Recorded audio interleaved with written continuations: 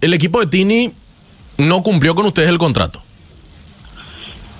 Y, no cumplió, no cumplió, pero es un tema, eh, es un tema transversal, pues de hecho que teníamos a casi 25 mil personas eh, ya esperando el concierto y no no, no podíamos nosotros entrar a, a, discutir aspectos legales más que eh, respetar la decisión que ellos tomaron.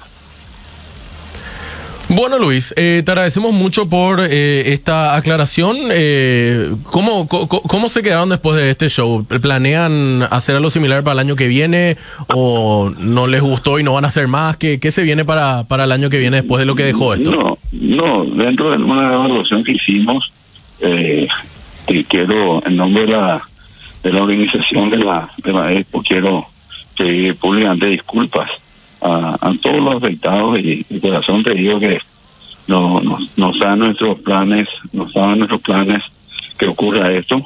Eh, hemos pedido la disculpa correspondiente, hemos eh, económicamente y devuelto eh, todo el importe que han abonado. Y, y bueno, hemos resuelto que ahora en adelante vamos a, sacar esa oportunidad de, del, del meet and greet eh, adelante y lastimosamente sacamos una oportunidad a, los fans que le conozcan a sus a sus artistas principales porque eh, realmente uno pasa como organizador, como coordinador general adjunto a la expo, que puedo decir que el, el más rato uno, uno pasa eh, buscando siempre que todo salga bien, de repente ocurren estas cosas y hemos decidido ya no volver a hacer meet and greet eh, van adelante. Eh, simplemente el, los conciertos que vendrán seguramente en el futuro y que cada uno eh, esté en el lugar que nos responda y, y, bueno, que pasemos felices y contentos como es lo que queremos eh, brindar a todo el público de eso.